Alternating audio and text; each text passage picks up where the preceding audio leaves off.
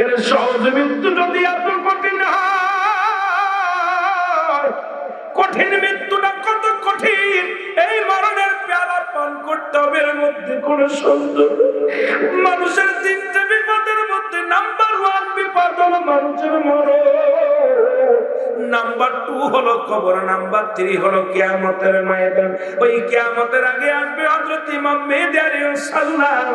ইমাম মেহেদী আলাইহিস সালাম বিদায় সবার বিদায় যখন আজরাইল তার আগে এত জোরে চিৎকার মেরে আল্লাহ! ওই আব্রাহিমের চিৎকার করে আজকে আমাদেরকে তুমি দয়া করো ইমান নিয়ে মৃত্যু বরণ করার তৌফিক দান করো। জোরে জোরে চিল্লায় বলা যাবে না, আল্লাহ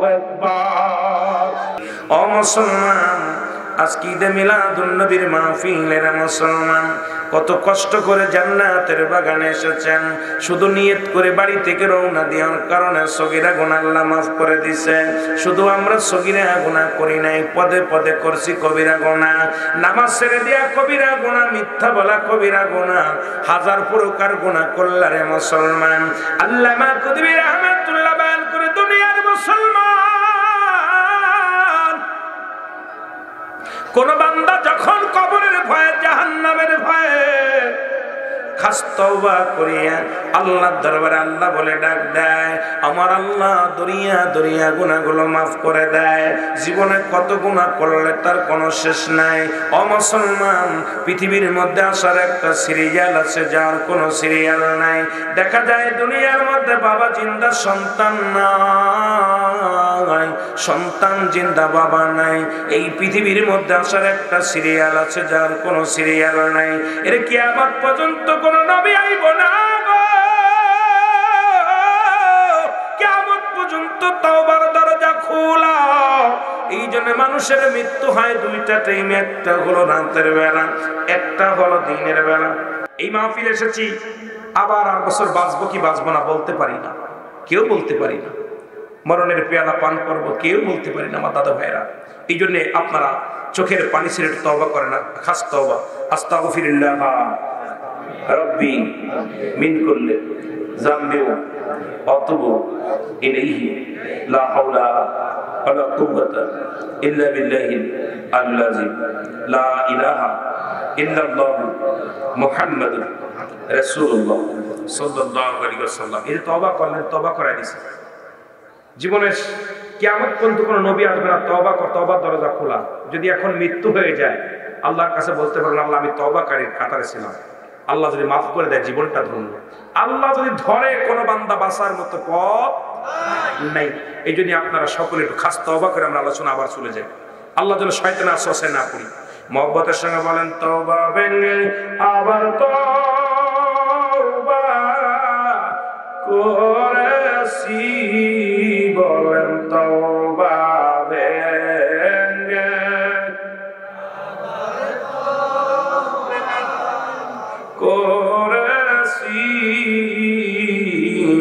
করে দেন মাবদ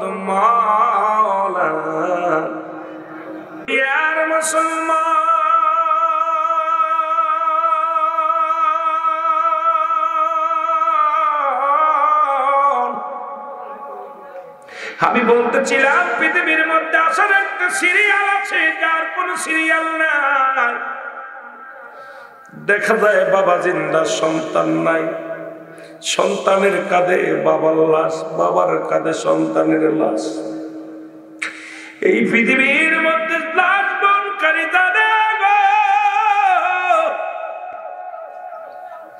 ওই সন্তানের লাশ কত ভারী বাবা লাশটা কত ভারী।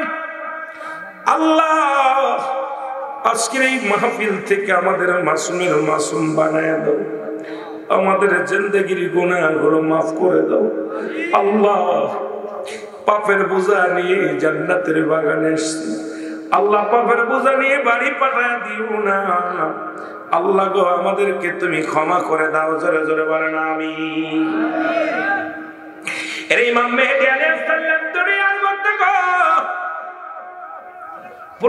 পাবে চল্লিশ জন ভণ্ড ইমাম কয়জন? জোরে বলেন, কয়, চল্লিশ জন অলরেডি বাংলার জয়ল পৃথিবীর মধ্যে। উনচল্লিশ জন ভণ্ড ইমাম মেহেদির আগমন ঘটে গেছে। আর একজন মাত্র বাদ আছে। বাংলার জমিনে কোন ইমাম আইতো না। বাংলার জমিনে যদি কোন বিশ্বায় ইমাম মেহেদি বলে দাবি করে দুইটা জুতার বাড়ি মারলে আপনার নসিবে নেকির পাল্লা বাড়ি হয়ে যাবে। কারণ বাংলার জমিনে কোন ইমাম মেহেদি আইতো না। বাংলার জমিনে কোন পীর সাহেবের ঘরে ইমাম আলাইহিস সালাম আসবে না। ইমাম আলাইহিস সালাম আসবে মক্কা, মদিনায়। জোরে জোরে চিল্লায় বলা যাবে না মারহাবা আমার দেশের মধ্যে অনেক পীর সাহেব ইমাম মেহেদি দাবি করে ফেলেছে। আমার দেশের মধ্যে অনেক আলেমরা বলছে, আমি ইমাম মেহেদি। আরে মুসলমান, ইমাম মেহেদি আলিয়াল্লাম আসার আগে চল্লিশটা আলামত হবে রে মুসলমান। এই চল্লিশটার মধ্যে অধিকাংশ আলামত হয়ে গেছে। অধিকাংশ আলামতগুলো হয়ে গেছে। বাকি আছে কয়েকটা। তার মধ্যে একটা খানে দার্জালের আগমন ইসালামের আগমন। বাদানের এই পৃথিবীর মধ্যে এজিত মজুতের আগমন। তিনটা ভূমিকম্প হবে। একটা ভূমিকম্প হবে পশ্চিম আকাশে, আর পশ্চিম দেশে, আর একটা হবে পূর্ব দেশে, আর একটা হবে মধ্যপ্রাচ্যে। মুসলমান শুনে নাও দেবের কান্ডা লাগা শুনে নাও। এবার একটা দিন সূর্যোদয় হবে, চব্বিশটা ঘণ্টা ধরে বৃষ্টি বর্ষণ হবে। দুনিয়ার মধ্যে ভাই ভাই জিনা ব্যবচার মাত্রগুলো হয়ে যাবে। মক্কা, মদিনায় জিনা ব্যবচার নেমে আসবে। সারা পৃথিবীর মধ্যে কাটাকাটি হাঙ্গামা শুরু হয়ে যাবে। পুরুষ জাতি যাতাবার হয়ে যাবে। মহিলারা আরব সমস্ত জায়গায় নেতৃত্ব দান করবে। মেয়ে মানুষগুলো, পুরুষ মানুষগুলো যাতাবার হয়ে যাবে। মেয়ে মানুষগুলো পৃথিবীর সমস্ত নেতৃত্ব আসনে বসে যাবে। পুরুষগণ পুরুষগণ মহিলাদের হুকুমের গোলাম হয়ে যাবে। পুরুষগণ মহিলাদের ভয়ে ঘর থেকে পালাইবে এ মুসলমান শুনে না, কিছু কিছু ইতিহাস আজকে আমি বলে যাই। ইমাম মেহেদির বাবার নাম থাকবে মুহাম্মদ। ও মুসলমান ইমাম মেহেদি বা ইমাম মেহেদি সাল্লামের নাম থাকবে, কি থাকবে? মুহাম্মদ। বাবার নাম থাকবে আব্দুল্লাহ, আমার নাম থাকবে ফাতিমা। এ মুসলমান শুনে নাও, বাবার নাম থাকবে, বাবার নাম থাকবে আব্দুল্লাহ মার নাম থাকবে আমেনা। তার বংশ থাকবে ফাতেমার বংশধর, গোত্র থাকবে বধুয়া গোত্র। পৃথিবীর মধ্যে শুনে নেন, তার পরিচয় রাসুল দিয়ে গেছে। তার আলোচনাটা আমাদের জানার দরকার। কবিরাজ ভাই, সুন্দর একটা আলোচনা দিছে মুসলমান। শুনে নাও, ইমাম মেহেদি আসার আগমনের ইতিহাসটা আমাদের সকলের জানার দরকার। জোরে জোরে চিল্লা বলা যাবে না, আল্লাহ আমি কেন যে ভালোবাসিলাম রে? আমি কেন এর ভালোবেসে খুদায় আদম হাওয়া বানায়। ভালোবেসে খুদ ওগো আদম হাওয়া ওর বেহেস্ত বালা খানা সাজাইল রে, আমি কেন দেওয়া আয়ালো বাসিলাম রে? বলেন, আমি কেন যে ভায়ালো অগয়াদম হওয়া বেহস্ত ছাড়িয়া তিনশত চল্লিশ বছর কান দিল রে আমি। যে ভায়ালো রে আগে তো না জানিয়া পিছনা বুঝিয়া কেন যে ভায়ালো বাসিলাম রে আল্লাহ জোরে।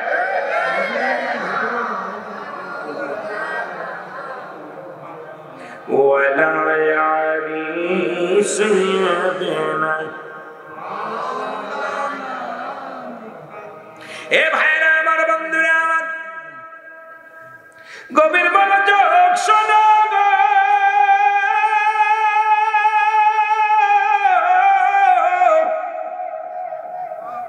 আগে ইমাম মেয়েদের পরিচয়টা দিয়ে আসি তারপরে মূল আলোচনায় যায় নবীজি বলছেন, ইমাম মেহেদির বর্ণনা করলেন। সাহাবিরা বলে, ইয়া রাসূলুল্লাহ, ইয়া হাবিবাল্লাহ তাকে দেখতে কেমন?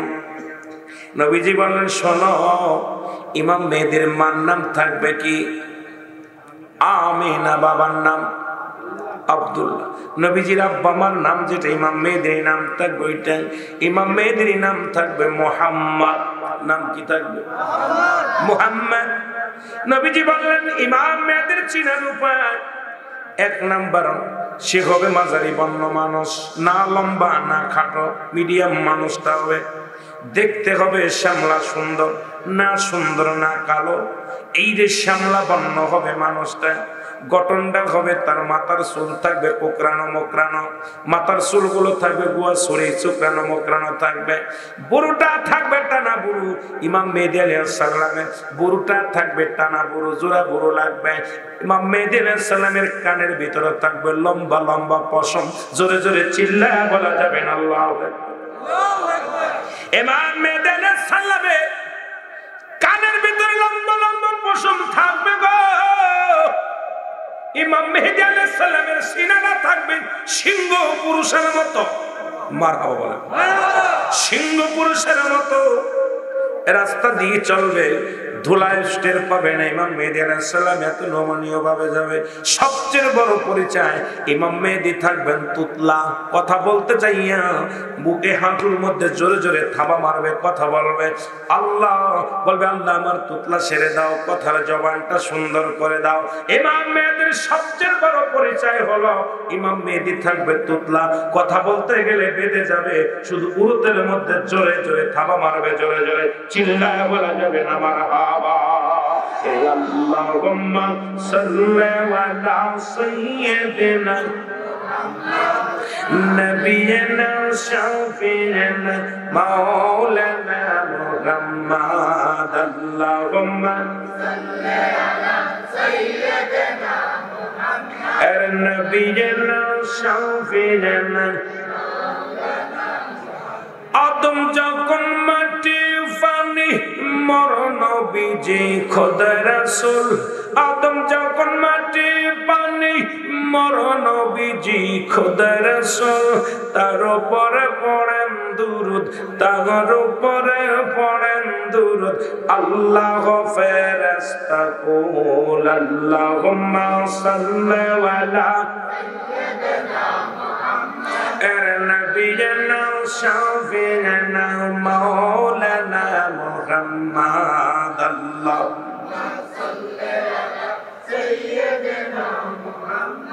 উড়ে যাও রে বাংলার হাওয়া যাও রে উড়ে মৌদিনায় উড়ে যাও রে বাংলার হাওয়া যাও রে উড়ে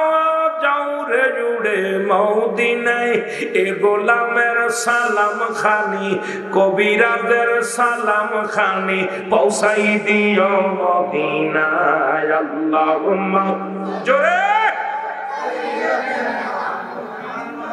এর নবীনা শাফিনা মাওলানা মুহাম্মদ। আল্লাহুম্মা এর নবীনা শাফিনা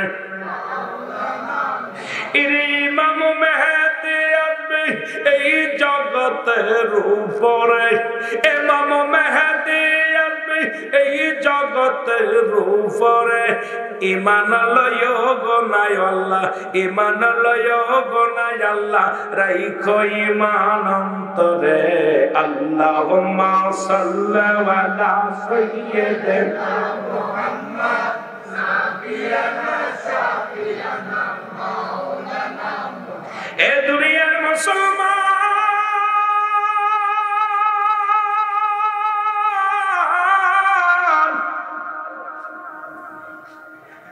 ইমাম মেহেদি প্রকাশের আগে কাশ্মীর মুসলমানদের দখলে চলে আসবে। আজকে পৃথিবীর মধ্যে মুসলমান মার খায়, মুসলমান নির্যাতিত হয়। মুসলমানদের উপরে আক্রমণ চালায়। ইমাম মেহেদি আলিয়াল্লাম দুনিয়ায় আসার আগে কাশ্মীর মুসলমানদের দখলে চলে আসবে। মুসলমান বীরের জাত হয়ে যাবে রে মুসলমান, শুনে নাও। অ মুসলমানদের কান্ডা লাগা, শোনো। মক্কা, মদিনার জমিনে পাপা কাজ লিপ্ত হয়ে যাবে। মক্কা, মদিনার বুকে শুধু জিনা ব্যবচার শুরু হবে গো। আজকে মাজান যারা মক্কা, মদিনায় আছেন, ভালো করে লেখে নেন। আপনাদের আত্মসুজন যারা মক্কা, মদিনায় আছে, ভালো করে জেনে নেন। এর মদিনা, কাবা শরীফের উত্তর গেটে সিনেমার হারার ভিত্তি স্থাপন হয়েছে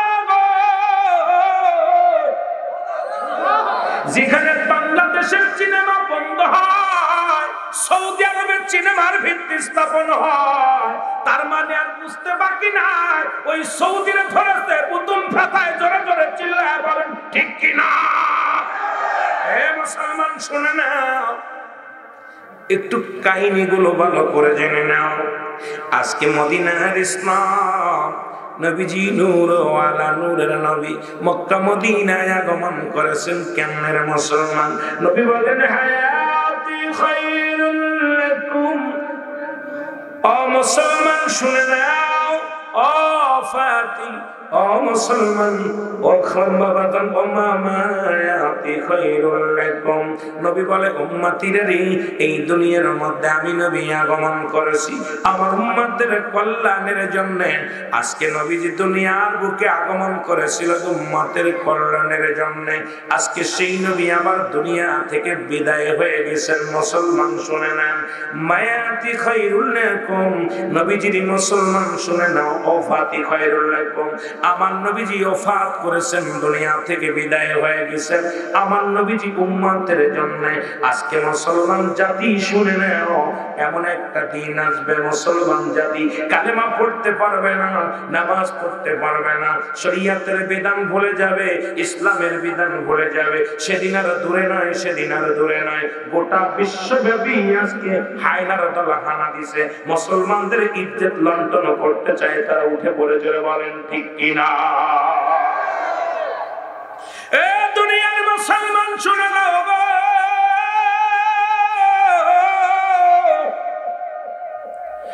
মক্কা, মদিনায় বাংলাদেশের পতিতালাই বন্ধ হয়েছে।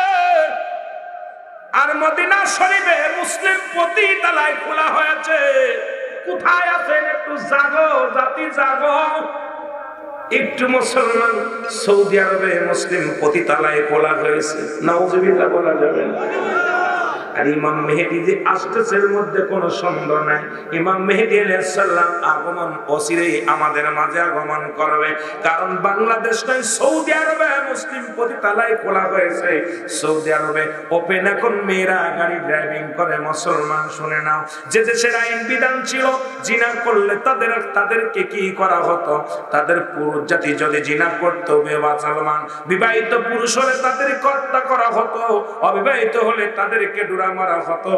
আর সেই জায়গায় এখন মুসলিম পতিতালায় খোলা হয়। তার মানে আর বুঝতে বাকি নাই ভুতুম ফাঁসায় ভালোভাবে ধরছে ধরে বলেন, ঠিক কিনা?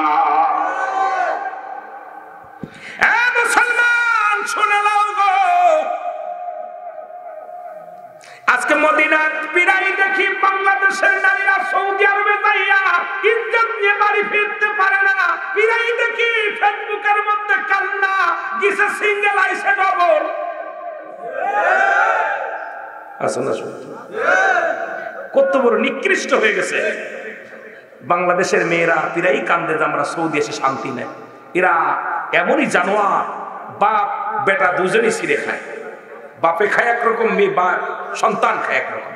বাবা খেয়ে যখন চলে যায়, সন্তান আবার আমাকে আক্রমণ হায়নার মতো ধরে। তাহলে বুঝতে আর বাকি নাই যে পাপা কাজে এমন ভাবে লিপ্ত হয়ে গেছে। তার মানে ইমাম মেহেদি আর আসতে বেশি দেরি নাই। আমার ভাইরা আমার বন্ধুরা, আমার মক্কা মদিনায় যখন পাপের পূজা, জিনা ব্যবচারে লিপ্ত হবে গো, চক্রবৃদ্ধি সুদ বেড়ে যাবে, জিনা বেড়ে যাবে, ব্যবচার বেড়ে যাবে। এ ভাই, বাংলার জমিনেও শুরু হয়ে গেছে। বাংলার জমিনে শুধু জিনা আর জিনা। যেখানে চট্টগ্রাম মেডিকেল কলেজ হাসপাতালে মরা মর্গে জিনা হয়, যেখানে ঢাকা মেডিকেল মর্গে জিনা হয়, মরা মানুষের সঙ্গে জিনা হয়। কোন দেশে আছেন রে ভাই? কোন দেশে আছেন? যেখানে নব্বই পার্সেন্ট মুসলমান বাংলার জমিনে, সেখানেও মর্গের মধ্যে জিনা হয়, মরা মর্গে জিনা হয়, হাসপাতালে জিনা হয়। কোন দেশে আছেন বাবা? আল্লাহ আমাদেরকে হেফাজত যদি না করে, বিপদের কোনো শেষ নাই, জোরে কোন ঠিক কিনা? আমি কি মিশা কথা কইছি? শুনছেন না, কিছুদিন আগে ঢাকা মেডিকেল মর্গে হাসপাতালে মারা গেছে, গলায় দড়ি নিয়ে মারা গেছে আলামত হলো আলামত জিনা। ঢাকা মেডিকেল, চট্টগ্রাম মেডিকেল হাসপাতাল, দুটোই ধরা পড়ে। এরপরে রিমান্ডে নিয়ে যখন ওই আপনার ওই ডোমকে যখন রিমান্ডে নিয়ে পিটাইছে, তখন শিকার গেছে। আমরা একজন দুজনে পর্যন্ত শত শত নারী। যখন আমরা লাশ কাটতে যাই, আগে তার সঙ্গে জিনা করি। না তাহলে যে দেশে এত অসংখ্য আল্লাহর উলির আগমন করেছে, আজকে মৌলবীরা খালি ওয়াজ করে খাচ্ছ আর মসজিদে বয়া বয়া তসবি টিপতেছ। অবস্থা একবার খেয়াল করার দরকার। কথা বলবা না। খালি রাসুলকে রাসুলের বিরুদ্ধে করে কথা বলো। খালি আমার নবীকে নিয়ে কটত্ব করে কথা বলো। মিলাদ ক্যাম্পকে নিয়ে কটত্ব করে কথা বলো। মিলাদুল নবী নিয়ে কটত্ব করে কথা বলো। এদিকে যে ইমান হরপ করতেছে গোটা বিশ্বব্যাপী, ওদিকে তোমাদের মাথা ব্যথা নাই। তোমাদের ইয়াউমাল কিয়ামতের ময়দানে আল্লাহর দরবারে জবাব দিতে পারবে না জোরে বলেন, ঠিক কিনা? অবস্থা খুব ভয়ঙ্কর। খালি নবীর বিরুদ্ধে কথা বলো। খালি নবীর বিরুদ্ধে অবস্থা। আমার ভাইরা, আমার বন্ধুরা, আমার ইমাম সালাম মক্কা থেকে মদিনার দিকে হিজরত করবেন। ওনার বয়স যখন চল্লিশ বছর হবে, কয় বছর? যখন চল্লিশ বছর হবে, ইমাম মেহেদী আলাইহিস সালাম মক্কা থেকে মদিনার দিকে আগমন করবে। রাতের অন্ধকারে পালায় আসবে, রাতের অন্ধকারে পালায় আসবে। ইমাম মেহেদি যখন পালায় আসবে, ওলাম একরামের সামনে ধরা পড়ে যাবে। ওলাম একরাম দেখেই তারে চিনে ফেলবে। সবাই বলবে, আপনি ইমাম মেহেদি আলাইসাল্লাম ইমাম মেহেদি বলবে, না, আমি ইমাম মেহেদি না, আমার নাম মোহাম্মদ। আমার নাম মোহাম্মদ? বলে, তুমি যাও কোথায় বলো? কয়, না না, মক্কার জমিনে ব্যবচার শুরু হয়ে গেছে। মুসলমান বাবা মরে গেলে সন্তান মাকে বিয়া করে। আজকেও দেখলাম বাংলার জমিনে এমন একটা দুর্ঘটনা ঘটেছে বছর সিরাজগঞ্জে। সবচেয়ে বড় কষ্ট হলো বাবা মারা গেছে, সন্তানের সঙ্গে মা বিবাহ পুষেছে। কারণ ওই সন্তানের নামে মায়ের সম্পত্তি লেখা ছিল। এখন বাবার সম্পত্তি লেখা ছিল। মা চিন্তা করে, সন্তান যদি ঠেকাইতে না পারে, বিপদে পড়ে যাব। বাবার রাতের অন্ধকারে ঘর ঘুরে, ঘরের মধ্যে ঢুকে ডাক ছেড়েছে, মানুষের সামনে ডাক ছাড়িয়া মানুষ গুছাইছে। এলাকার মাতবার চেয়ারম্যানরা যে সন্তানের সঙ্গে বিয়ে করাইছে, কয়েকশো কয়টা ডুরা মারিয়া তারপরে মার সঙ্গে বিয়া দিয়ে দিয়েছে সন্তানদের। আরে কোথায় আছেন? কোন জগতে আছেন? আজকে অবস্থা ভয়ঙ্কর। অবস্থা বিরাজ করতেছে সমাজের মধ্যে। আমার ভাইরা, আমার বন্ধুরা, আমার ইমাম যখন বলবে, আমি আর মক্কায় থাকতে থাকতে চাই না, মদিনার দিকে যায়। মদিনায় যাব, এমন সময় সব লোকজন চিনে ফেলবে, ইমাম মেদির চেহারা সুরত দেখে চিনে ফেলবে।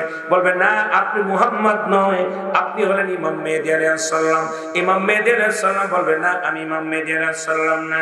তখন ইমাম মেহেদি আলাইসাল্লামকে আল্লাহ পাক পরিচয় করা দিবে। একটা একটা বিশাল একটা আওয়াজ আর আওয়াজের সঙ্গে, একটা শব্দ আসবে। সেই শব্দটা হলো হবে, হাজা খলিফাতুন ফিল আর হাজা খলিফাতুন ফিল আর এই আওয়াজটা উচ্চারণ হবে, তখন উপস্থিত সমস্ত ইমাম মেহেদি তুমি এই আওয়াজটা কোথা থেকে আসলো?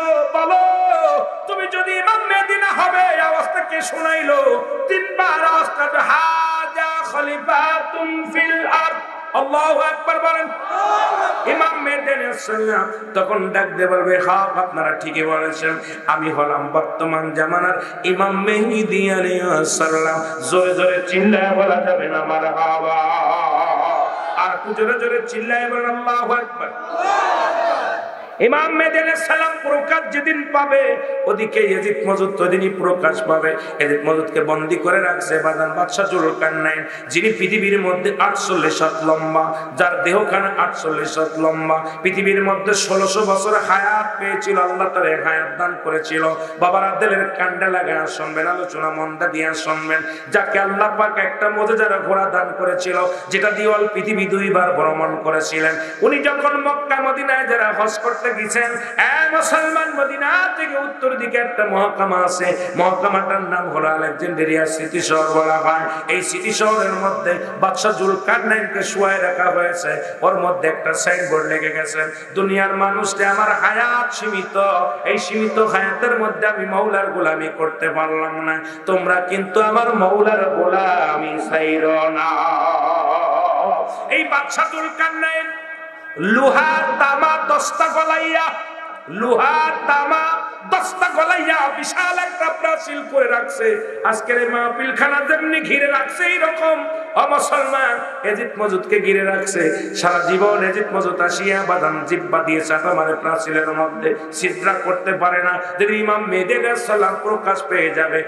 ওই জবান দিয়ে বাইর হয়ে যাবে, আলহামদুলিল্লাহ। আলহামদুলিল্লাহ যখন বলবে, সঙ্গে সঙ্গে সিদ্রা হয়ে যাবে। সিদ্রা হয়ে গেলে দুনিয়ার আলো বাতাস তারা দেখতে পারবে। দেখার সঙ্গে সঙ্গে প্রাচীরের মধ্যে জোরে ধাক্কা মারবে, ধাক্কা মারার সঙ্গে সঙ্গে এই দুনিয়ার মধ্যে আগমন করবে। দুনিয়ার পানিগুলো খেয়ে ফেলবে, জমিনটার মধ্যে যা কিছু আছে।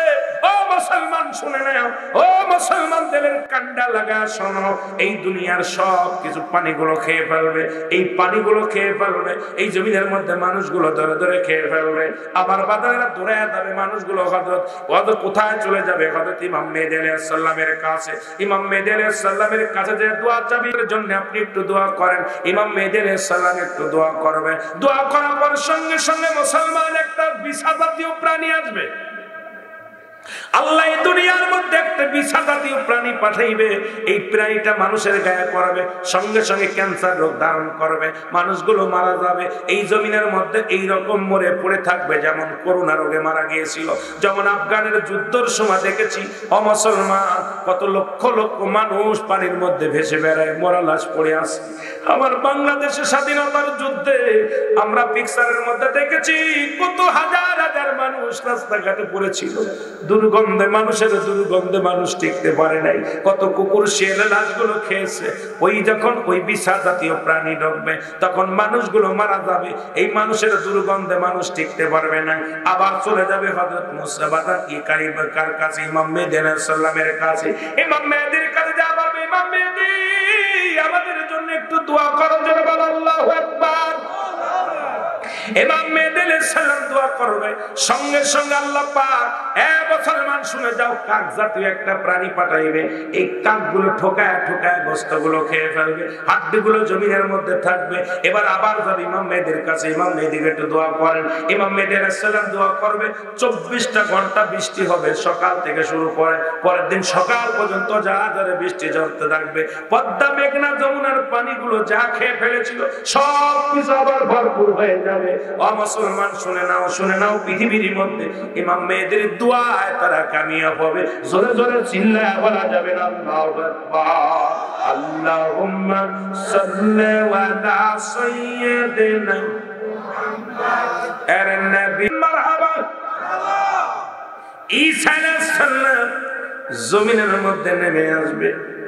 এরপরে নামে আসে পর আসরের সময় আসবে, আসরের নামাজের ইমামতি করবে হজরত ইমাম মেহেদি আলাইহিসসালাম আর ইমাম মেহেদি আলাইহিসসালামের হাতে হাত রেখে বায়াত গ্রহণ করবেন, তরিকা নেবেন হজরত ঈসা আলাইহিসসালাম ও মুসলমান, বায়াতে রাসূল আমার নবীর উম্মত হওয়ার জন্য আফসোস করেছিল ঈসা ইবনে মরিয়ম।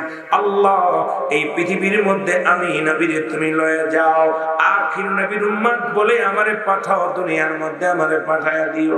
আমার আল্লাহ কবুল করেছেন, দুনিয়ার মধ্যে আসবে। ইমাম মেহেদি আলাইহিস সালামের হাতে বায়াত গ্রহণ করবে। ঈসা আলাইহিস সালাম মুসলমান মুসল্লি হবে, ইমাম মেহেদি আলাইহিস সালাম হবে ইমাম। দুজন মিলিয়া দুনিয়ার মধ্যে ইসলামের দাওয়াতের কাজ শুরু করবে। এই পৃথিবীর মধ্যে দাওয়াতের কাজ শুরু করবে, মুসলমান শুনে নাও। এর মধ্যে খানে দাজ্জালের আগমন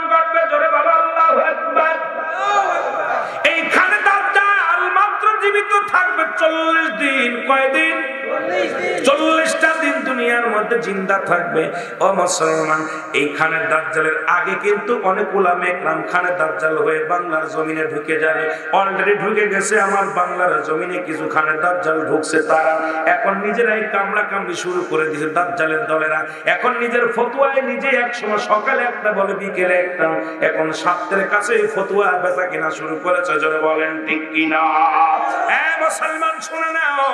ইমাম মেহেদি সাল্লাম ইমাম মেহেদি সাল্লামের কাছ থেকে তরবারি নিবে, বদন কে নিবে? ঈসা সাল্লাম ঈসা নবী নিয়া ঈসা ইমাম মেহেদি সরকারে বা খানে দাজ্জালকে দাবর কসবে দাবড়ায়া দাবড়াইয়া নিয়ে যাবে মক্কা মদিনায়। চল্লিশ দিনের ভিতরে মুসলমান যা মক্কা মদিনার গেটের সামনে দাঁড়াইয়া যাবে, কাবা শরীফের গেটের সামনে। ইমাম মেহেদি সাল্লাম কিনে খানে দাজ্জালকে হত্যা করবে হযরত ঈসা সাল্লাম হত্যা করার পর দুনিয়া থেকে বিদায় হয়ে যাবে। আমার আল্লাহ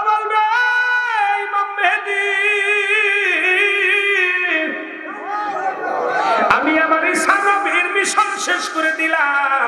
আজরাইল যাও যাও। আমার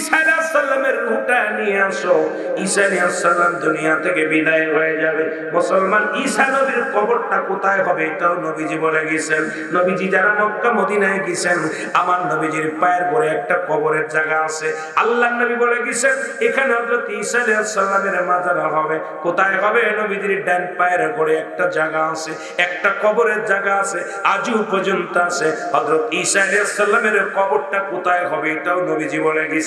তাহলে বর্তমান জামানায় আমার নবীজির কথা যারা মানি না, এই বোকার দলেরা এখনও ইসলাম বাদ করে বোঝে নাই, জোরে বলেন, ঠিক কিনা আর জোরে জোরে চিল্লায় বলা যাবে আল্লাহু নাকে লাগবে, এই ধোয়াটা লাগা নাকের নাক ঢুকবে, চোখ দিয়ে ইমানদারের নাক দিয়ে ঠান্ডা পানি বাইর হবে, নাক দিয়া মুখ দিয়ে ঠান্ডা পানি বাইর হবে, ঠান্ডা জল লাগবে, আর বেঈমানদের আটটা সিদ্রা দিয়ে দোয়া বাইর হবে। বেঈমানগুলো দুনিয়া থেকে বিদায় হয়ে যাবে। ইমানদার জগতের মধ্যে বসবাস শুরু করবে। পৃথিবীর মধ্যে সোনা রূপা, পৃথিবীর মধ্যে যত যত খনি আছে সব উত্তোলন হয়ে যাবে। মানুষের ভিতরে কোনো অবমানটন থাকবে না। মানুষগুলো সুখে, শান্তিতে জীবন যাপন করবে। আল্লাহর জিকিরের মাসগুলো হয়ে যাবে। জোরে জোরে চিল্লা বলা যাবে না আমার অভাব বলতে থাকবে না। মানুষের সুখ আর সুখ।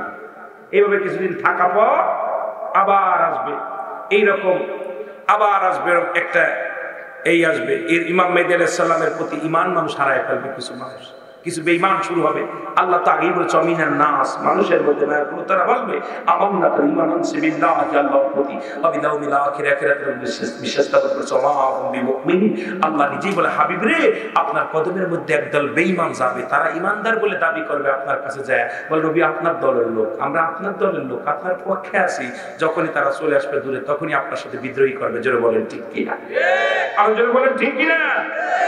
বেড়া মুনাফিক তো ছিল, সেই জামানায় ছিল এখনও আছে, তৎকালীন জামানা ছিল, এখনও আছে। কেমন কিন্তু থাকবে, জোরে বলেন ঠিক কিনা?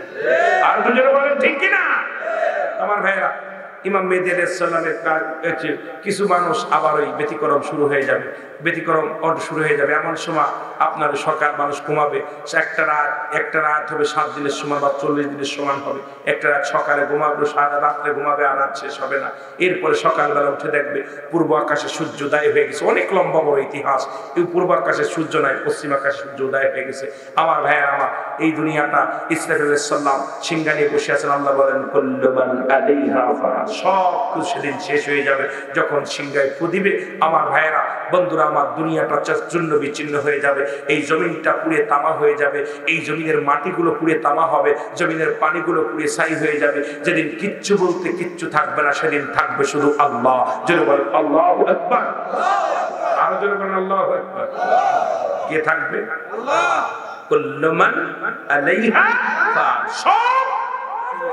শেষ।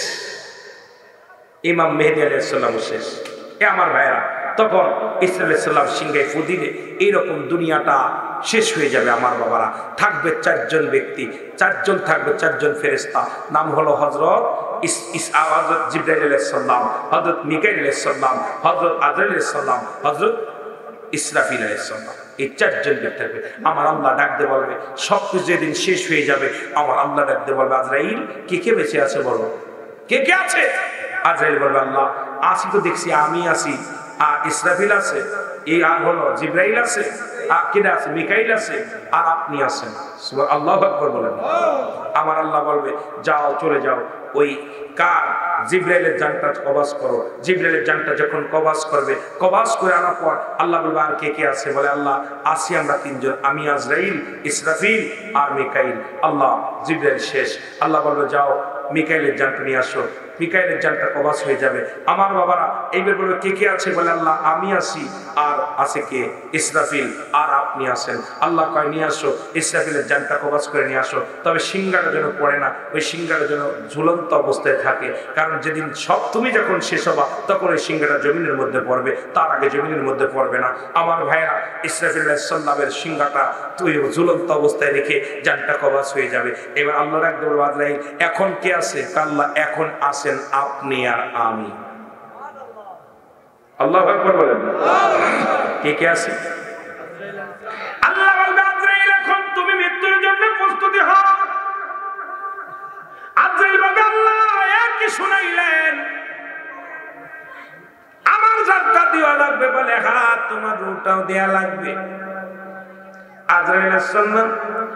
কান্নায় বিতু হইয়া বিতু হইয়া কান্না শুরু করে দিবে।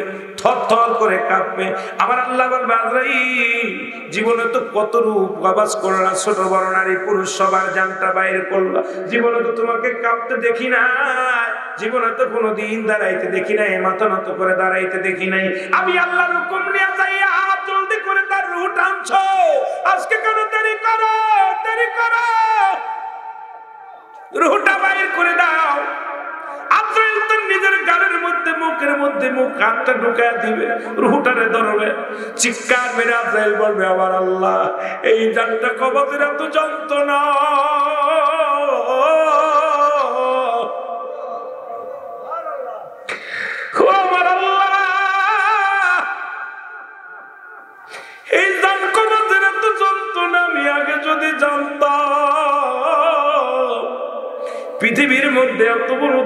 দায়িত্ব আমি নিতাম।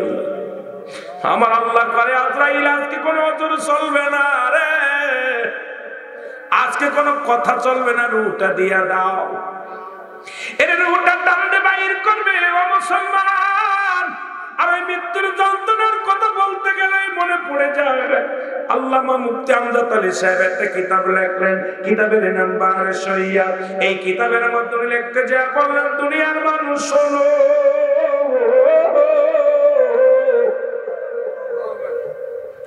একটা সাধারণ মৃত্যু হয়, সত্তরটা তাজা উটের গায়ের চামড়া। জবাই না করিয়া উল্টো দিকে টান দিল লবণার মরিচ লাগা দিলে যন্ত্রণা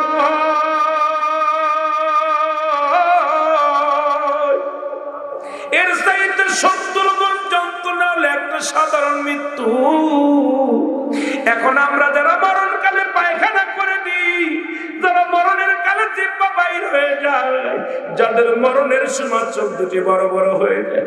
যারা মরণের সময় হয়ে যায় ওই মরণের সময় বাইর হয়ে যায়, তাদের মরণটা কত কঠিন হয় রে। এর সহজ মৃত্যু যদি এত কঠিন হয়, কঠিন মৃত্যুটা কত কঠিন? এই মরণের পেয়ালা পান করতে হবে, এর মধ্যে কোন সুন্দর মানুষের তিনটে বিপদের মধ্যে নাম্বার ওয়ান বিপদ হলো মানুষের মরণ। নাম্বার টু হলো নাম্বার থ্রি হলো কেয়ামতের ওই কেয়ামতের আগে আসবে হযরত ইমাম ইমাম সালাম বিদায় হয়ে যাবে, সবার বিদায় যখন শেষ। আজরাইল তার রুট দেওয়ার আগে এত জোরে চিৎকার মেরে কাঁদবে। আল্লাহ! ওই আজরাইলের চিৎকার যদি দুনিয়ার মানুষ শুনতো, দুনিয়ার মানুষগুলো হাত ফেল করে মারা যেত। আজকে আল্লাহ আমাদেরকে তুমি দয়া করো ইমান নিয়ে মৃত্যু বরণ করার তৌফিক দান করো। জোরে জোরে চিল্লায় বলা যাবে না, আল্লাহ একবার একটু মহব্বতের সঙ্গে দুরূদ শরীফ পড়েন, আল্লাহুম্মা।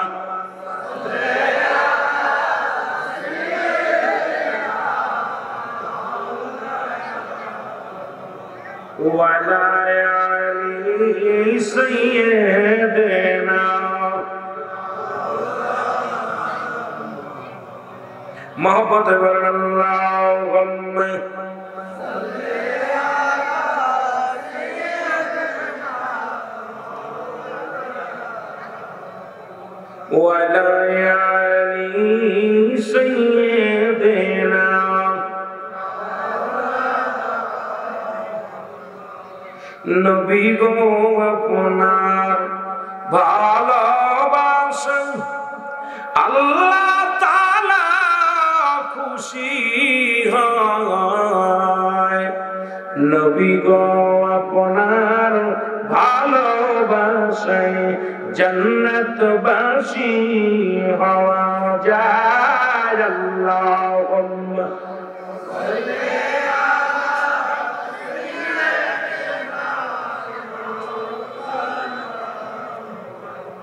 তবে আমরা কিয়ামতের আলোচনা শুনি সবাই।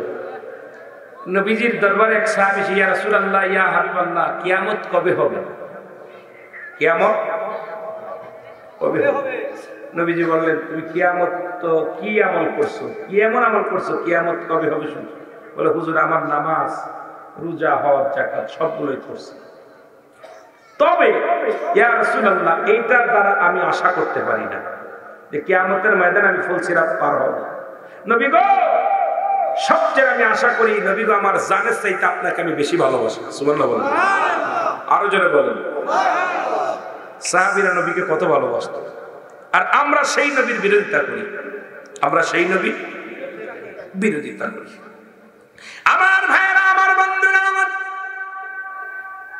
যেদিন আল্লাহ পাক দুনিয়ার মধ্যে যখন আল্লাহর জানতে বাইর হয়ে যাবে রুহটা যখন বাইর হয়ে যাবে মুসলমান, সমস্ত মানুষগুলো পূর্ব দিক থেকে পশ্চিম দিকে দৌড়াইবে। আমার আল্লাহ হবে সেদিন কাজী, বিচারক হয়ে দাঁড়ায় যাবে। অমানুষ সবাই নাফসি নাফসি আসালিম আসালিম বলে দৌড়াইবে। হাসরের ময়দান অনুষ্ঠিত হবে। অনেক লম্বা ইতিহাসগুলো বলতে গেলে সময় লাগবে মুসলমান। শুনে নেন, ভালো করে শুনে নেন। হাসরের ময়দান যেদিন শুরু হয়ে যাবে, সেদিন মুঠু হাত পানির মধ্যে কেউ সাঁতার কাটবে, হাঁটু পানির মধ্যে কেউ সাঁতার কাটবে, ঘামের মধ্যে সাঁতার কাটবে। মুঠু হাত উপরে সূর্য উদয় হবে, মানুষগুলো মস্তিষ্কগুলো গলে জমিনের মধ্যে পড়বে। এই তামাম, এই তামা এই মাটির জমিনটা তামা হয়ে যাবে, পুড়ে তামা হয়ে যাবে। এই জমিনটা পুড়ে তামা হয়ে যাবে, এই জমিনের পানিগুলো পুড়ে সেদিন ছাই হয়ে যাবে। যেদিন কিচ্ছু বলতে কিচ্ছু থাকবে না, সেদিন থাকবে শুধু আমার আল্লাহ। আল্লাহ কয়, বান্দারে, সেদিন থাকব আমি নবী, আমি আমার নবীর ভালোবাসা নিয়ে জোরে জোরে বলেন মার আল্লাহ থাকবে নবীর প্রেম নিয়ে, কার ভালোবাসা নিয়ে? নবীজির ভালোবাসা নিয়ে। ওদিন মানুষগুলো দূরে দূরে চলে যাবে আদম আলাইহিসসালামের কাছে। ও মুসলমান, আজকে তো মাহফিল পেয়েছেন, বড় শান্তির মধ্যে আছেন। ওদিন মানুষগুলো দূরে যাবে আদম আলাইহিসসালামের কাছে। আদম নবী বলবে, তোমরা কেন আমার কাছে আসলা? তোমরা আমার কাছে কেটে লাভ নাই রে। আমি আদম প্রেশারিত আছি। আমার আল্লাহর কাছে আমি কি জবাব দিব? আমি আদম একটা ভুল করেছিলাম। যার কারণে আমার আল্লাহ সাড়ে তিনশো বছর আমারে কাদাইল, আমার দিয়া কানে দরিয়া সারা পৃথিবী পুরাইল এরপরে যে নবীর খাতিরে আমি ক্ষমা পাইলাম আমি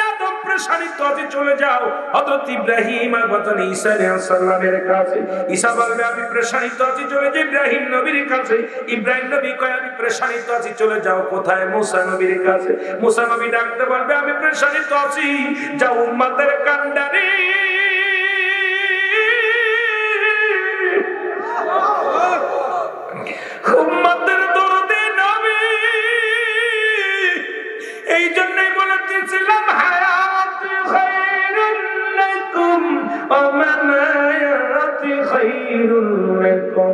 মুসলমান শুনে নাও ও মায়াতি খায়রুল লাকুম।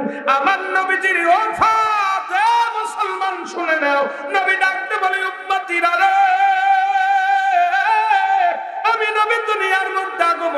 করেছি আমার উম্মতের কল্যাণের জন্য। আবার আমি দুনিয়া থেকে বিদায় নিয়ে গেলাম। এটাও আমি নবী উম্মতের কল্যাণের জন্য। পৃথিবীর মধ্যে যদি কোন উম্মত ভালো কর্ম করে, আমি আল্লাহর দরবারে প্রশংসা করি আমার উম্মতের হইয়া।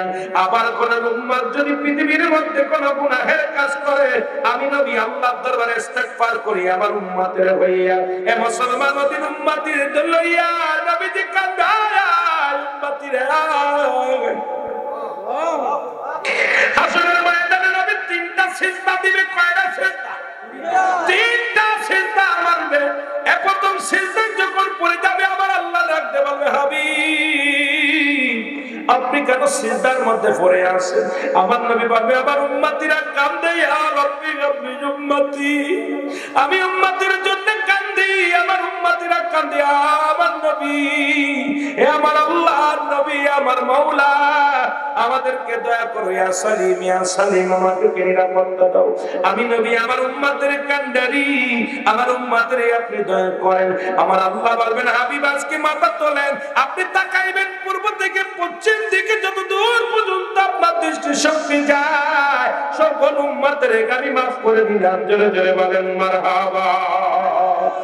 তোমরা সনগমন দিয়া, তোমরা সনগমন দিয়া।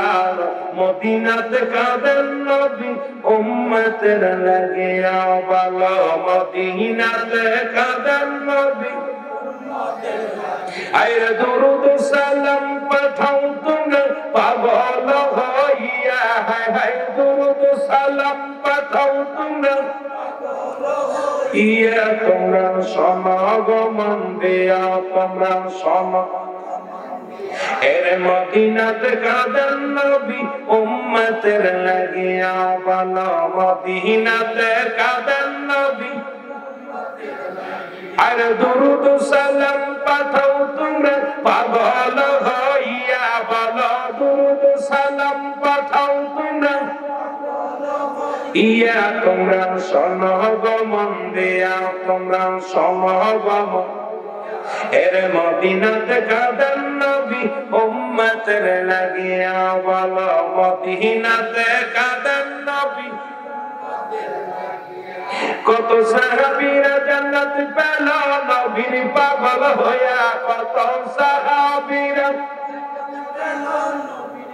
আরও জোরে বলেন কত সাহাবীরা জান্নাত পেল নবীর পাগল হইয়া তোমরা সমগমন দিয়া তোমরা সম এর মদিনাতে কাদের নবী উম্মতের লাগিয়া বলো, মদিনাতে কাদের নবী এরে হাফসি বেলাল নবী পেল, কান্দিয়া কান্দিয়া বলো হাফসি বেলাল নবী পেল, কান্দিয়া কান্দিয়া, তোমরা সনগমন দিয়া, তোমরা সনগমন দিয়া। মদিনাতে কাদের নবী, উম্মতের লাগিয়া বলো মদিনাতে কাদের নবী এরে যাই মদিনাই কেমনে যাইব? বহিলা দাব মৌলায় আমার মদিনাই কেমনে যাইব? বহিলা দাব মৌলা মদিনাতে কাদের নবী উম্মতের লাগিয়া ভালো মদিনাতে।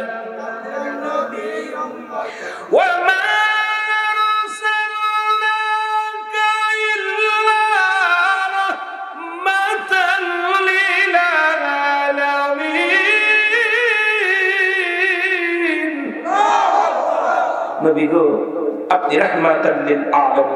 আল্লাহ আপনার প্রেমের মালা যদি গলায় করতে পারি, আল্লাহকে রাজি খুশি করতে পারবে, এর মধ্যে কোনো সন্দেহ নাই। নবী আমার উপরে, আমার আপনার উম্মতের উপরে রাজি হয়ে যান। আল্লাহ, নবী গো, আপনি একবার রাজি হইলে আল্লাহ রাজি হয়ে যাবে, জোরে বলেন আমি আর জোরে বলেন আমি মহব্বতের সঙ্গে দুরূদ শরীফ আল্লাহুম্মা।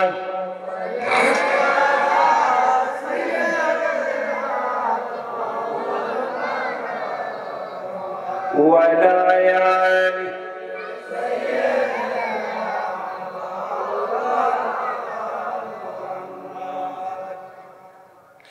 মুসলমান গভীর মনোযোগ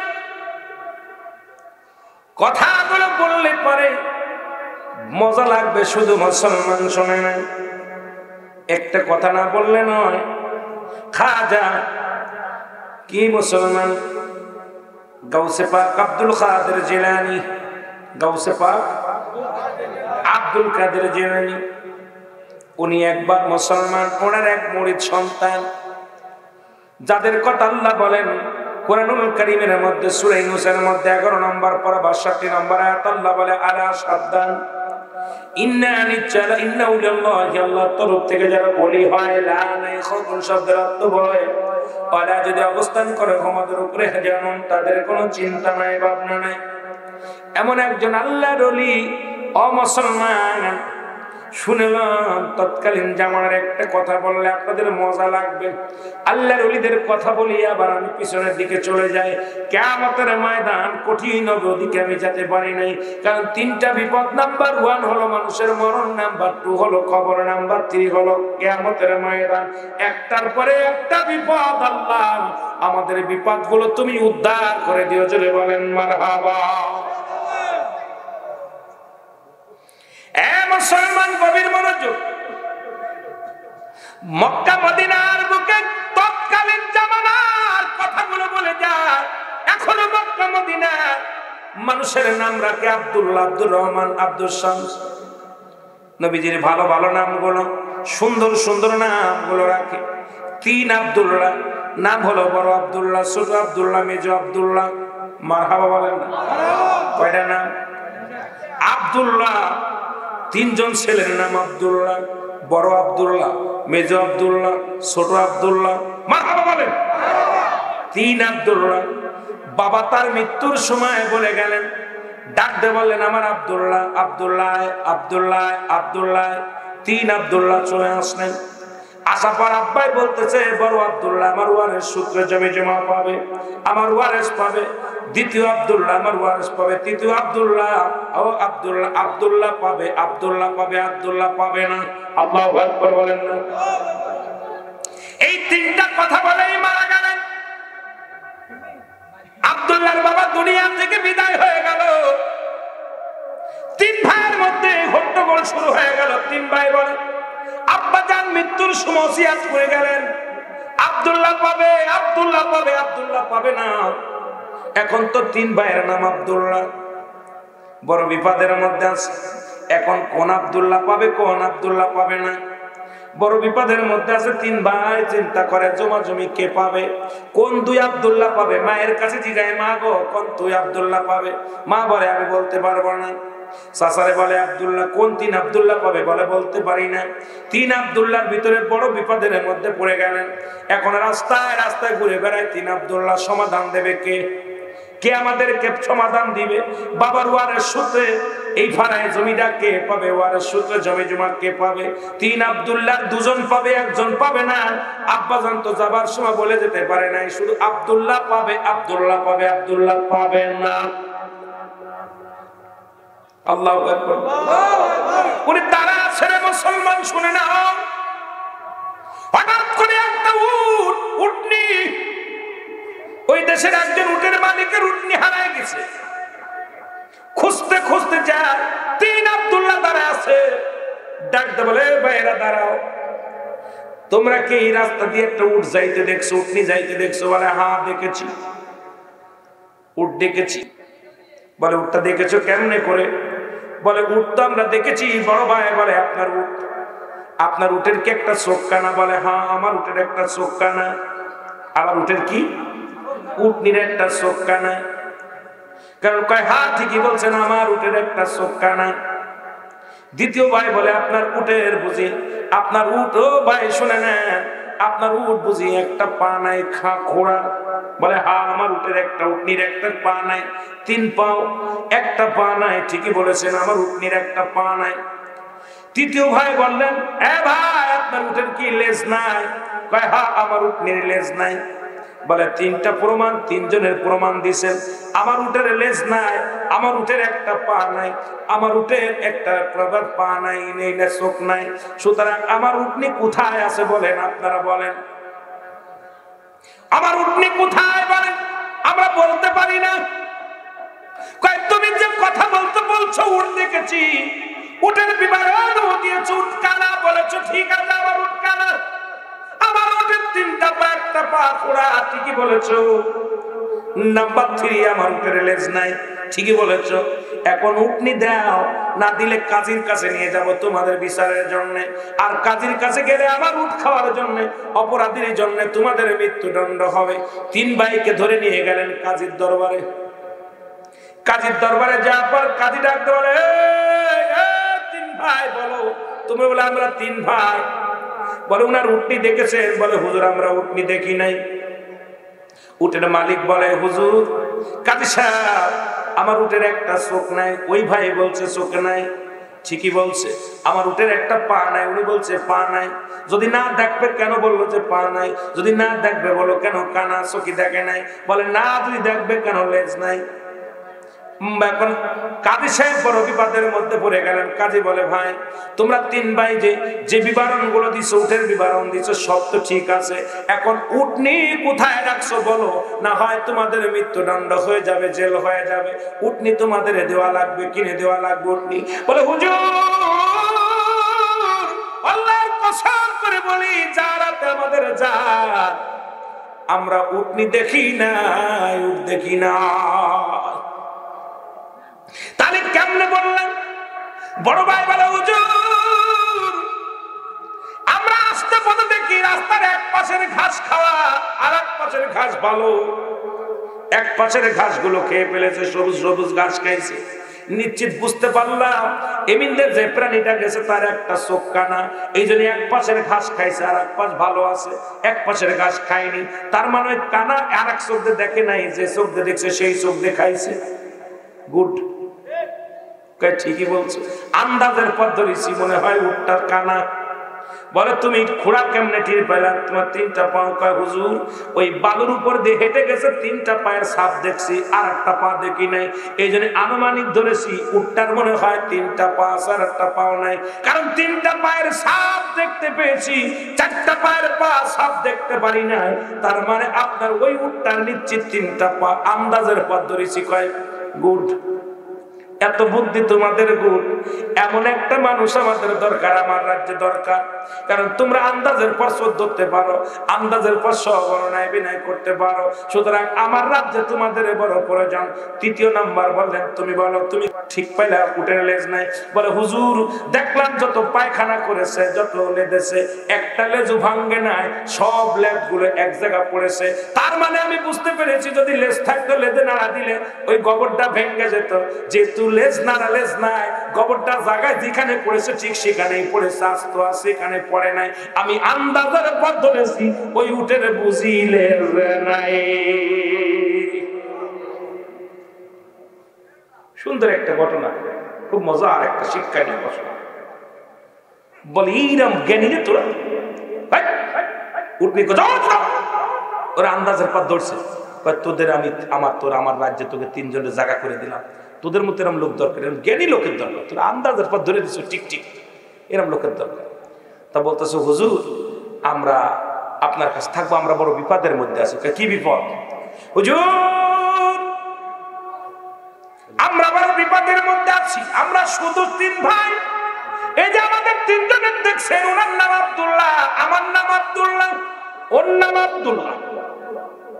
আমরা বড় বিপদের মধ্যে আছি মীমাংসা করার জন্য। সমাধান পাইতেছি না, এই জন্য বাড়ি হতে বাইর হয়েছি। আমার আব্বাজান মৃত্যু সজ্জায় যাইয়ে তিন ভাইকে ডাক দে, বলে, আব্দুল্লাহ, আয় আব্দুল্লাহ আয় আব্দুল্লাহ, আয়। তিন ভাই যখন গেলাম আমার আব্বাজান বললেন, আব্দুল্লাহ, এই আমার সম্পদ পাবে, আব্দুল্লাহ আমার সম্পদ পাবে, আব্দুল্লাহ আমার সম্পদ পাবে না। এখন আপনি বলে দেন, এই তিন ভাইয়ের মধ্যে সম্পদ কোন দুই ভাই পাবে আর কোন ভাই পাবে না? একটু বলে দেন। এই বিপদের জন্য আমরা হাজির হয়েছি। এখন আমাদের বলে দেন, এই উপায়টা বলে দেন। এরে উজির বাদান কি বলে? কাজী বলে।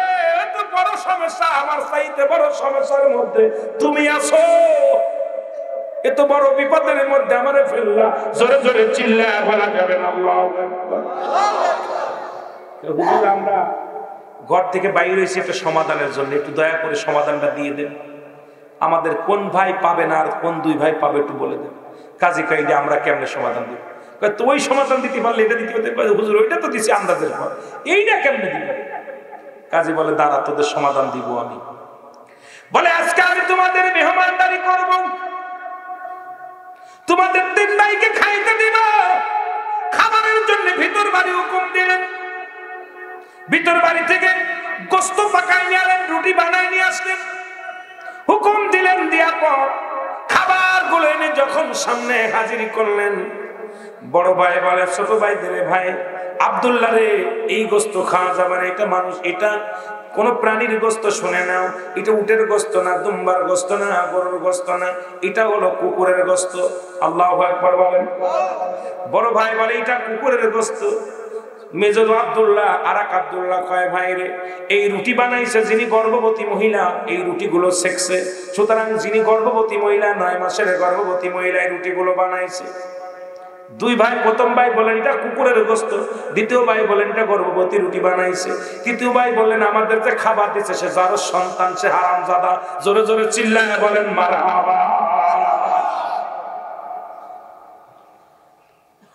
প্রথম বললেন যিনি দিচ্ছে এটা কিসের গোস্ত? কথা বলেন কিসের গোস্ত? রাত হয়ে গেছে কষ্ট হচ্ছে আপনাদের। কিসের গোস্ত? আর রুটি বানাইছে কিসে? গর্ভবতী মহিলা। আর যে খাবার দিছে? অবৈধ সন্তান যার সন্তান। এখন কাজী আইসা দেখে না খেয়ে বসে আছে। কেন? বলছে, খাব কেমন? এটা হালাল না, এটা হলো কুকুরের গোস্ত। কি বলো, কুকুরের গোস্ত? হ্যাঁ এটা কুকুরের গোস্ত। বলে, সত্যি? হ্যাঁ। যদি কুকুরের গোস্ত না হয়, তোমাদের গর্দান দ্বিতীয় আব্দুল্লাহগুলো একজন গর্ভবতী মহিলা। নয় মাসের গর্ভবতী মহিলা বলে, তুমি যেটা বলছি এটা যদি সত্য না হয়, তোমার গরদান যাবে?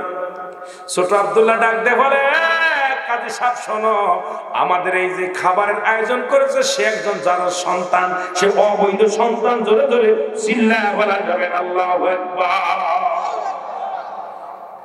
কাজী তো অবস্থা কাজীর খুব রাগে, কাজী নিজে খাবার জোগাড় করছে। কাজী হচ্ছে যার সন্তান। কথা হইনি আর কাজের খুব রাগ। তবু কষ্ট করে চেক দিছে দা, একদম কথাবার্তা বন্ধ করে চুপ করছে, দেখা যাক কি হয়। বলে তারা আমি বাড়ি থেকে প্রমাণ করে নিয়ে আসি। যদি ভিতর থেকে প্রমাণ যদি সত্য হয়, তাহলে তোমাদেরকে আমি একটা ফয়সলা করে দিব। আর যদি মিথ্যা হয়, তোমাদের গরদান যাবে। বলে, ঠিক আছে, ভিতরে গেলেন। যিনি পাক করছেন, তারে জিজ্ঞানো হলো। তুমি ওই মেহমানদের জন্য কি গোস্ত পাকাইছো বলে, হুজুর? আমরা ঘরের মধ্যে দেখি কোনো গোস্ত নাই। আমাদের পশু পালি আমাদের যে ঘরের মধ্যে যে কুকুরটা ছিল, ওই কুকুরটা জব করে গোস্ত পাকায়া দিছি। হুজুর, আপনি গোস্ত দিতে বলেছেন, যদি গোস্ত না দিই গড় দাম যাবে। এই ভয়ে যদি বলি নাই, তারপর আমরা বিপদে পড়ে যাব। এই জন্য আমরা কুকুরটা জব করে আপনার মেহমানদারি করেছি রান্না করে দিছি। রুটিটা চলে গেলেন রুটিওয়ালার কাছে রুটি বানাইছে কে? যা দেখে ঠিকই গর্ভবতী মহিলা। গর্ভবতী মহিলা মুসলমান, শোনে না উনি নয় মাসের গর্ভবতী। ওই মহিলাটা এবার চলে গেলেন মায়ের কাছে, মা গ, সত্যি করে বলো গো মা, আমি কি তোমার বৈধ সন্তান নাকি অবৈধ সন্তান? মা বলেন কাদিরে ও কাদি তুই আমার অবৈধ সন্তান। তবু আমি তোরে ভালোবাসি রে বাবা, আমার গর্বে ছিলি তুই। তোর বাপ, উনি না, যিনি তোর তাকে তুমি বাবা বলিস বাবা, ও তোর জন্মদাতা পিতা না, তোর জন্মদাতা পিতার একজন। সুতরাং আমি অপকর্ম করেছিলাম আমার বাড়ির রাখালের লাগে। আমার বাড়ি যিনি কর্মচারী ছিল, তার সঙ্গে আমি অপকর্ম করেছিলাম। সুতরাং আজকে যে তুই যে তার সন্তান, এ বাবা, আমি সত্য কথা বলতেছি। কয়, মা গো, তুমি সত্য করে বলো বাবা, সত্য করে বললাম, তুমি যার সন্তান তুই অবৈধ সন্তান, জোরে জোরে চিল্লা বলা যাবে না আমার কাজী মাথা নত করে চলে আসে তিন ভাইয়ের কাছে। আব্দুল্লাহ আব্দুল্লাহ আব্দুল্লাহ। তিন আব্দুল্লাহ প্রস্তুতি করে, আব্দুল্লাহ তুমি এটা এটা যে কুকুরের গোস্ত টের পালে কেমনে? বলে, আমরা একজন হালাল বান্দা।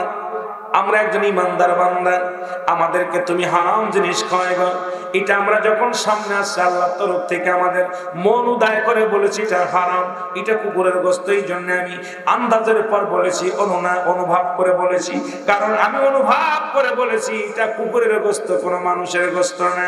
সত্যি এটা কুকুরের গোস্ত। ঠিক আছে নি? কয় হ্যাঁ ঠিক। দ্বিতীয় আব্দুল্লাহ বলে কিটা বলছে এই রুটিটা? মহিলা বানাইছে গর্ভবতী মহিলা বলে আমি বলছি। বলে, কেন আমি টের পাইলাম? কয়, টের পাইলাম। এই রুটিটা এক পাশে সেকা হয়েছে আর এক পাশে শেখা হয় নাই। ওই গর্ভবতী মা যখন রুটিটা বানাইছে, এক পাশে দেখতে পারে নাই, নিজের পাশে দেখতে পারে নাই, এই পাশে মোটা আছে, ভালো করে বানানো হয় নাই। আবার যখন চুলার মধ্যে সেকেছে গর্ভবতী মা উপরের পাশে হয়ে গেছে, এক পাশে নিজের পাশে হয় নাই। এটা আমি বুঝতে পেরেছি দেখেই যে এটা কোনো গর্ভবতী মহিলা, কারণ বসে পড়ে রুটিগুলো সেকতে যায়, ঠিক মতো সেকতে পারে নাই, বানাইতে পারে নাই। এটা কোনো গর্ভবতী মা বানাইছে বলে ঠিক আছে। এরে আমার যে সন্তান বলছো, কে বলেছ? ছোট আব্দুল্লাহ বলে, আমি বলেছি। জোরে জোরে একবার আর জোরে একবার তোমাদের তিনজনের ঠিক, তোমরা তিনজন যা বলেছ সবই ঠিক। সুতরাং যে বলেছ, এইটা কুকুরের গোস্ত, সে পাবে তোমার আব্বার সম্পদ। যে বলেছ, পৃথিবীর মধ্যে এই রুটিটা মহিলা, গর্ভবতী মহিলা বানাইছে, সে পাবে তোমার বাবার সম্পদ। আর আমাকে যে বলেছে, তার সন্তান, সে সম্পদ পাবে না। সেও তার বাবার অবৈধ সন্তান। সুতরাং অবৈধ সন্তানের সন্তানকেই চিনেছে। তোমার মার কাছে জিগাও। এরপরে এই তোমার বাবা রেখে দেওয়ার সম্পত্তি গুলো। তোমরা দুই ভাই বাবা আব্দুল্লাহ, আবদুল্লাহ পাবে। আর এই আবদুল্লাহ পাবে না, জোরে বলেন আল্লাহ তিন আব্দুল্লাহ ছুটে গেলেন মায়ের কাছে। যায় বললেন, মা, ও মা, বলো বাবার সম্পত্তি কে কে পাবে মাগো আব্বা তো যাবার সময় বলে দিছে আব্দুল্লাহ পাবে আব্দুল্লাহ পাবে আব্দুল্লাহ পাবে। বলে, বাবা রে, ছোট আব্দুল্লাহ বলে, মা গো, তুমি বলো, আমি তোমার গর্বের সন্তান কিনে ছোট আব্দুল্লাহ যখন বললেন, মা বলে বাবারে সত্যি করে কি বলব? তোরে আমি আমার সন্তানের মতো ভালোবাসি, তোরে আমি অত্যন্ত মায়া করি। তবে বাবা, শোন ওই তোরে বাবারে বাবার সঙ্গ, তোর আব্বা যখন মসজিদে নামাজ পড়তে গিয়েছিল, তোকে ওই মসজিদের মেম্বার মসজিদের পাশে পাশে দেখেছিল, পড়া অবস্থায় পড়ে আসি ছোট্ট মানুষ পড়ে আসি, তোর বাবা তোরে কুড়ায় নিয়ে আসে, এসে লালন পালন করেছি বাবা। আসলে তোর জন্মদাতা মাকে আমি জানি না, তোর জন্মদাতা পিতাকে আমি জানি না। আমি আমার আমি তোর মায়ের আদর দিয়া, আমার স্বামী তোর বাবার আদর দিয়া, আমার সন্তানদের মতো তোরে লালন পালন করেছি। আসলে বাবা, তুই আমার গৌরব, আমার গৌরবের সন্তান নেই। তোকে আমি লালন পালন করেছি, আমি তোর পথের মধ্যে পেয়েছিলাম। মুসলমান শুনে নাও, তবে দুনিয়ার মধ্যে যতদিন বেঁচে থাকবি, ততদিন পর্যন্ত এই দুনিয়ার মধ্যে খাবার পড়ার দায়িত্ব আমি নিলাম। কিন্তু তোমার বাবার উরত জাতীয় সন্তানরা পাবে সন্তানরা পাবে সম্পদের মালিক। কিন্তু এর মালিক না তুমি হতে পারবে না। জোরে জোরে চিল্লা বলা যাবে না আমার আবা মুসলমান গাউসে পাক আব্দুল কাদের জিলানির কাছে যাওয়া হলো। এই যখন হলো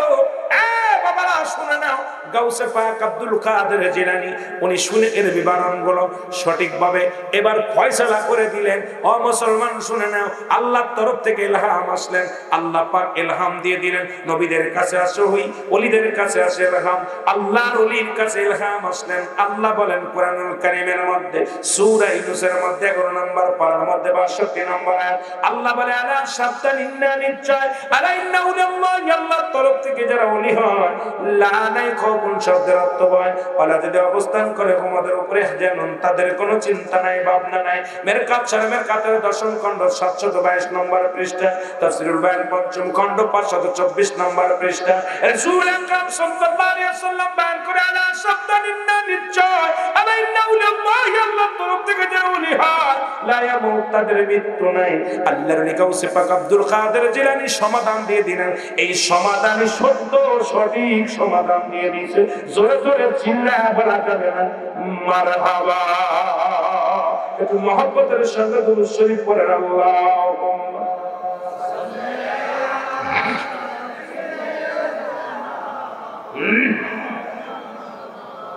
وعلى آل سيدنا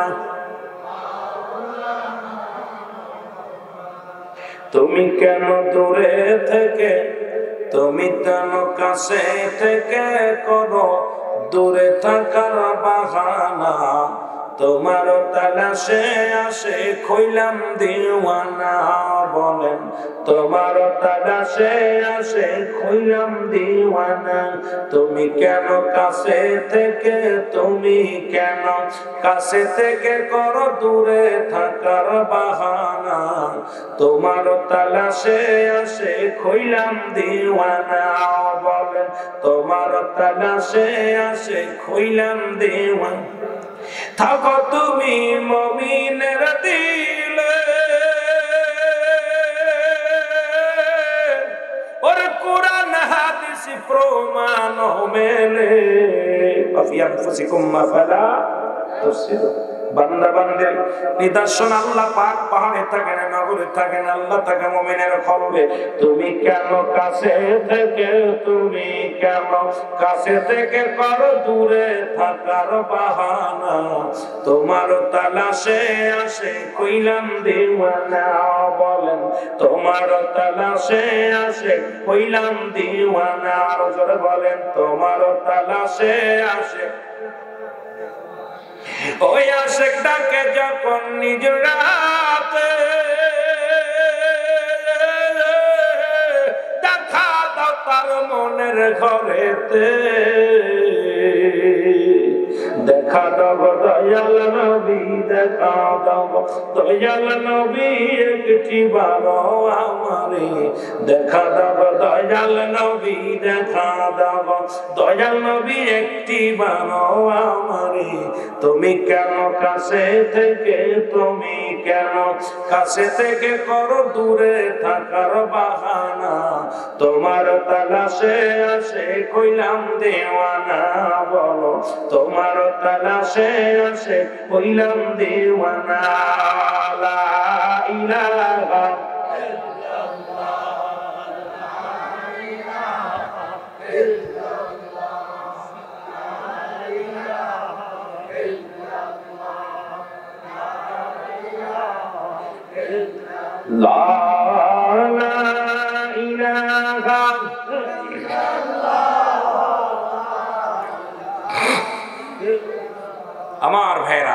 সুতরাং আর কথা আগাবো না।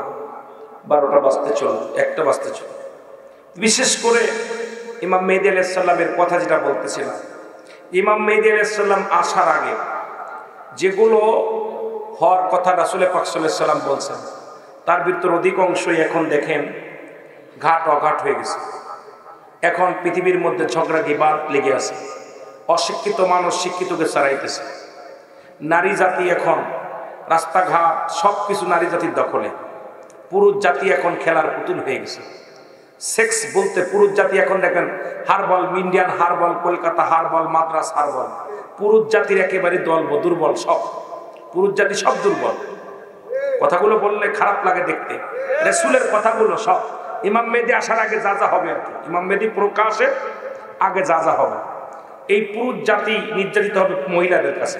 দেখেন একটা মহিলা এখন মামলা করলে পুরুষ জাতি জেলে যাচ্ছে, মহিলার কোনো মামলা নেই না। যেটা বলে ঠিক কিনা? আপনি ছেড়ে দিবেন, আপনি ছাড়ার সঙ্গে সঙ্গে আপনি জেল জরিমানা কিন্তু ইসলামের শরীয়তের বিধানে কোনো মহিলা তার স্ত্রীকে, স্বামীকে ছাড়তে পারে না। কোনো কিতাব দ্বারা প্রমাণ পাবেন না যে কোনো মহিলা তার স্বামীকে ডিভোর্স দিতে পারবে, ছাড়তে পারবে। কিন্তু ইচ্ছা করলে পুরুষ ছাড়তে পারবে। কিন্তু আমাদের বাংলাদেশের আইন হলো, মহিলা ইচ্ছা করলে আপনার সংসার করবে, না করলে চলে যাবে। আপনি তারা ছাড়তে পারবেন না। যত নির্যাতন হোক ছাড়বেন নির্যাতন মামলা দিবে আপনি দশ বছরের জেল। জোরে বলে ঠিক কিনা? রাগ করেন? কথাগুলো যেটা সত্য কথা বলতেছে। এখন নির্যা পুরুষ নির্যাতিত হচ্ছে, মহিলা নির্যাতিত না। এখন পুরুষ নির্যাতিত, পুরুষ কি হচ্ছে? নির্যাতিত হচ্ছে।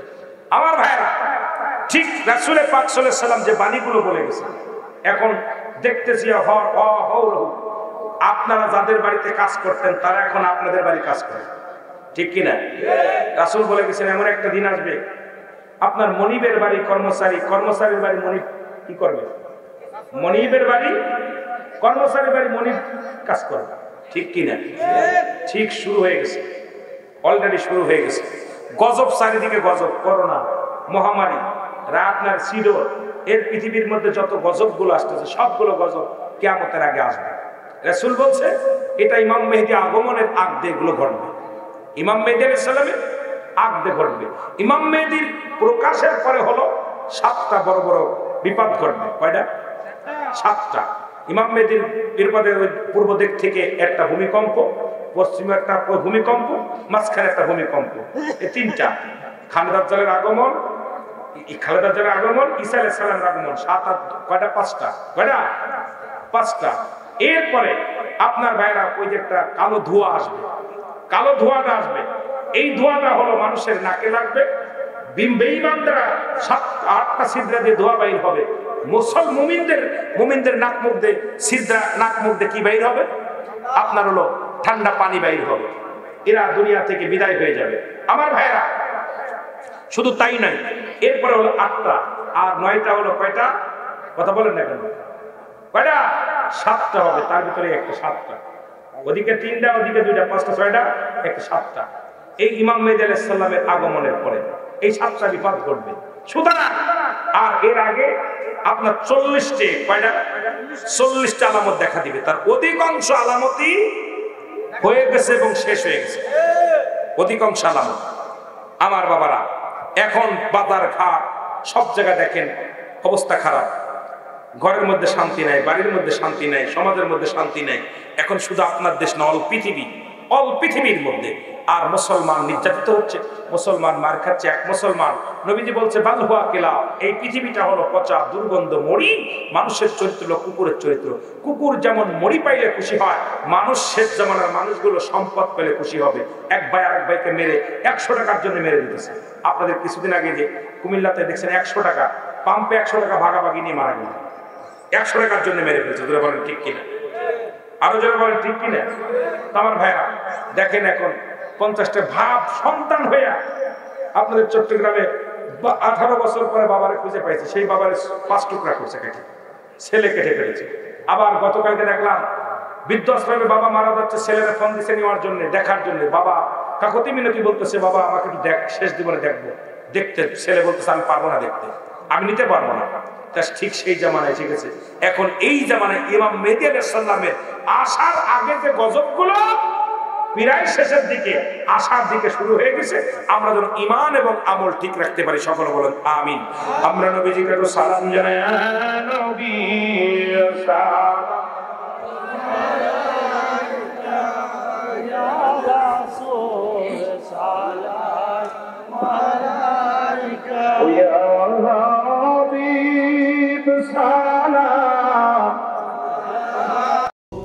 সুন্নিয়াতের প্রচারের স্বার্থে ভিডিওটি লাইক কমেন্ট ও বেশি বেশি শেয়ার করুন। আমাদের সাথেই থাকুন।